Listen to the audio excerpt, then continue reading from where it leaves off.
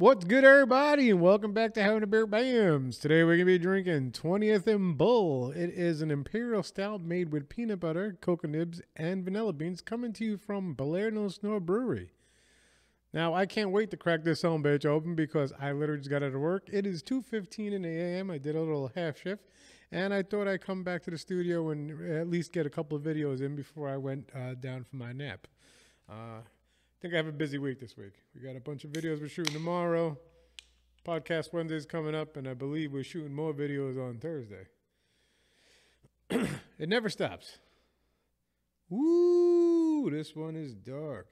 And you know, I do, like I said, I do love my stouts. I do love my dark beers. And I love a lot of the stuff that comes out of Bolero Snort. These guys actually have some great beer. And their labels are really funny. They're bull eccentric, I guess you could call them. All right, well, cheers, you silly bastards. Oh, oh it smells real good.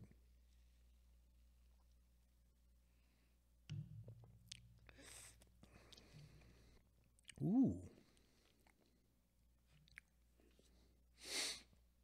Smells like peanut butter cookies and kind of tastes like peanut butter cookies too. Peanut butter cookies with a little hint of chocolate. I like it. This is damn. This is really good.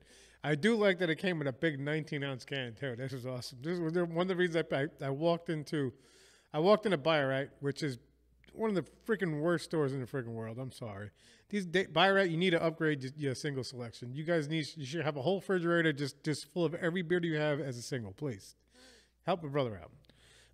but I walked past what they're called their single section, and I saw this giant freaking can. I had to pick it up. and I like it. It's it's um, it's like a modest type label. It's not too flashy. It's just uh, you know a black line drawing. Looks great. but anyway, yeah, if you find this, pick it up. This is coming in about ten and a half percent. It's really really good. I know that name. The artist name's on the can. Um, but yeah, uh, if you can find this, pick it up. This is really good. I did pick this up at the Buy-Rite in Jersey City. So if you're ever down in the Jersey City, you should be able to find them there. And with all that out of the way, I'm going to conclude this episode of Having a Beer Bamms. And always remember, all beer is good beer. Cheers.